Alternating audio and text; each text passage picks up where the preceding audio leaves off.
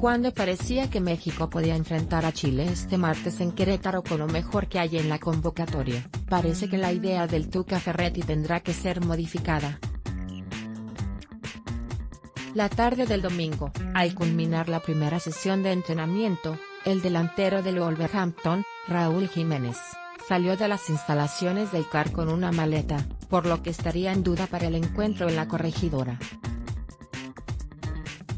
Entérate, diseñan playeras de la fusión de Chucky, y Gutiérrez el delantero de la Premier League ingresó de cambio ante Costa Rica en el Volcán y ahora que estaba contemplado para arrancar, es duda.